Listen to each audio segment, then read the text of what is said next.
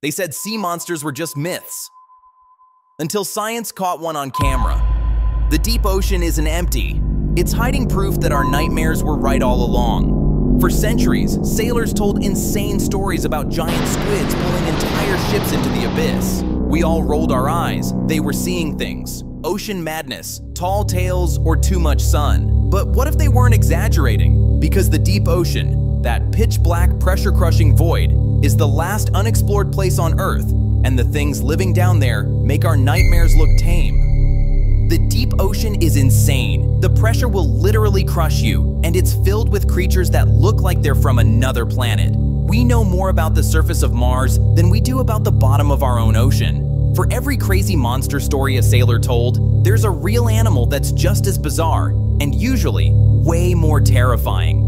In this video, we're going to see what's fact and what's fiction. From ancient legends that turned out to be shockingly real to modern sightings that are just creepy, these are the top 10 sea monsters that will make you never want to swim in the ocean again. You know the story. A beautiful woman, half fish, singing haunting songs from a rock, longing for love. Yeah, not even close. In Norse and Celtic folklore, mermaids, or sirens, weren't harmless dreamers. They were predators. Sailors said their songs could hypnotize entire crews, pulling ships off course, smashing them against the rocks, and dragging men into the deep. They weren't the bright-eyed Disney version. They were pale, sharp-toothed, with long claws, and glowing eyes that shimmered beneath the waves. And here's the strange part. In the earliest stories, sirens didn't even have tails. They were half woman, half bird, symbols of death and temptation. Over time, that myth merged with the sea maiden, creating the half-fish hybrid we know today. Even Christopher Columbus claimed to have seen them, three mermaids rising from the waves. He wrote that they were not as beautiful as they are painted.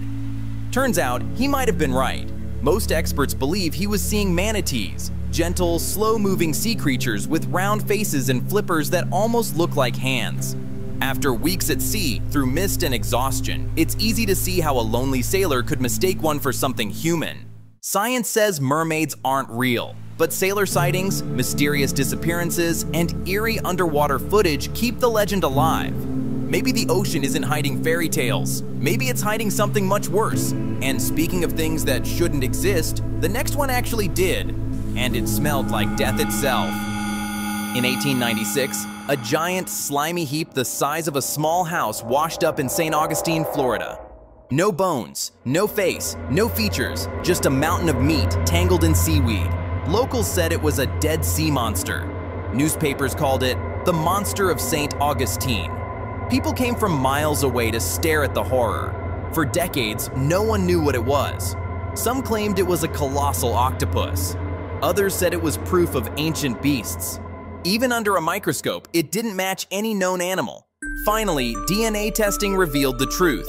It was decayed whale tissue, collagen fibers left behind after everything else broke down. But what's creepy is that the ocean keeps washing up more of these things. They're called globsters, and every few years, another one shows up somewhere new. Proof that even in a world of satellites and smartphones, the ocean still throws us curveballs, and sometimes corpses. And if you think that's unsettling, the next monster was so huge, sailors mistook it for an island. Straight out of Norse mythology, this is the Hafgufa, a beast so massive it looked like land itself.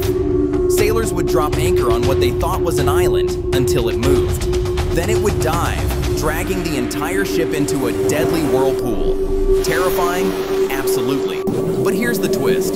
Some researchers think the legend may have been inspired by real whales performing something called trap feeding, where they hover at the surface with jaws wide open, waiting for fish to swim in. Imagine spotting that in the year 900. You'd swear you were staring into the mouth of a world-ending monster. Hey, if this hasn't made you rethink swimming yet, go ahead and smash that subscribe button. Trust me, you'll want to stick around for number one. It's not a rumor or a monster from myth.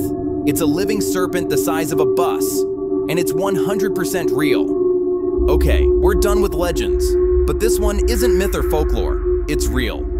In 1997, US scientists heard something deep in the Pacific Ocean that made their skin crawl.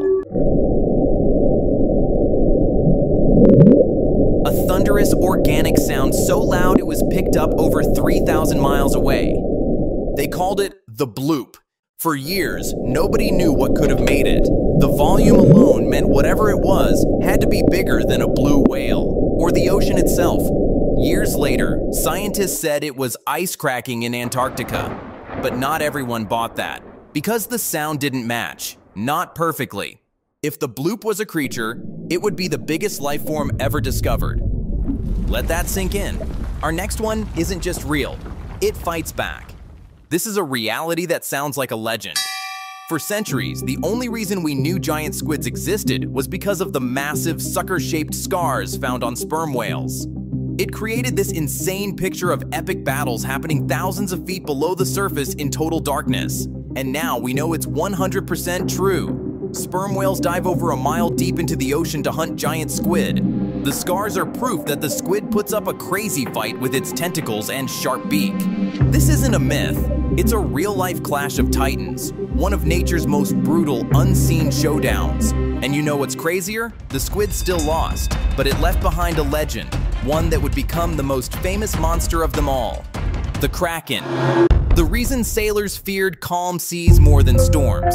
This monster was so big, its tentacles could wrap around an entire ship and drag it to the bottom of the ocean.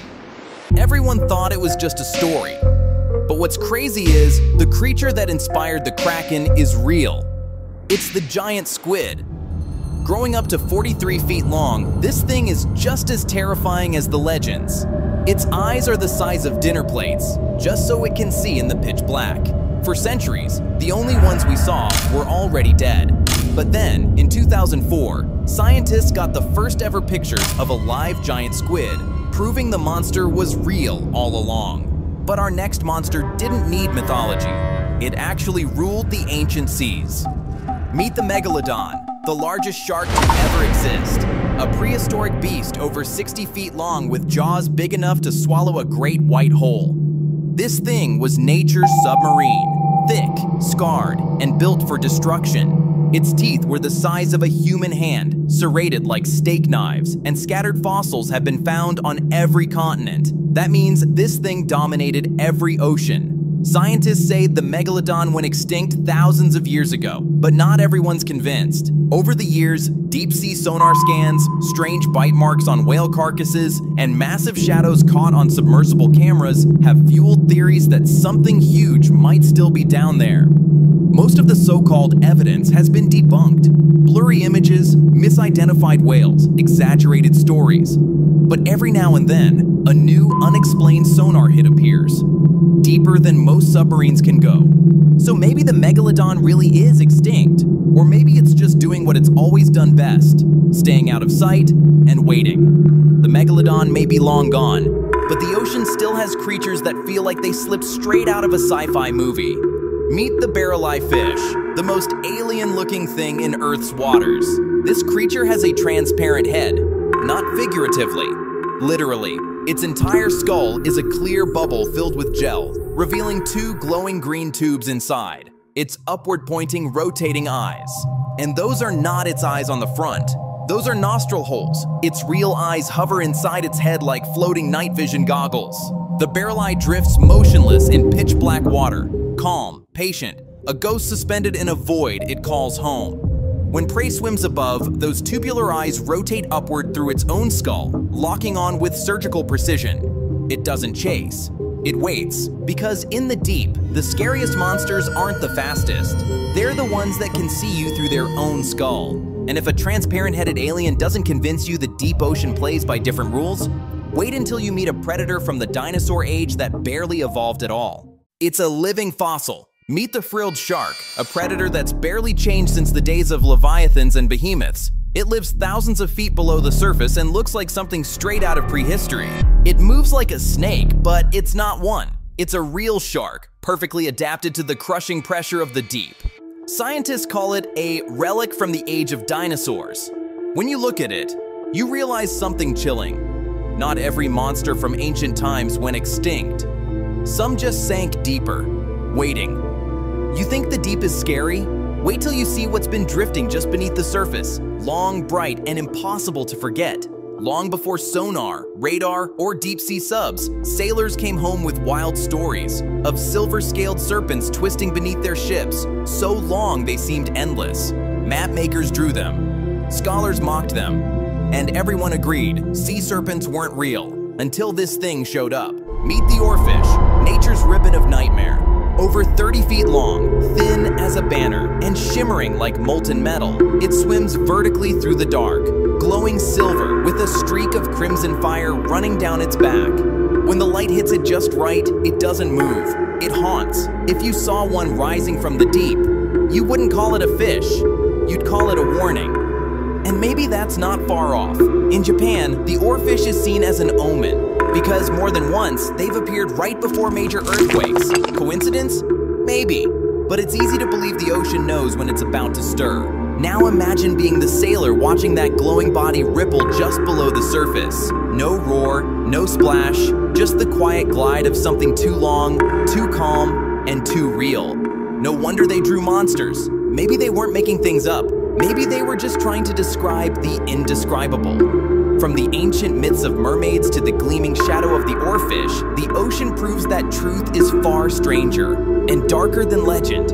We've seen how real creatures gave birth to myths, and how, even now, the deep keeps its secrets well hidden. But behind all that mystery, the power, the beauty, and the terror of the sea lies the unmistakable hand of the Creator. The same God who shaped the stars also carved the trenches of the ocean floor and filled them with wonders we've barely begun to see. Which of these creatures creeped you out the most? Let me know in the comments below. And if you love diving into the mysterious and occasionally nightmare-inducing, hit that like button and subscribe, and bring a flashlight.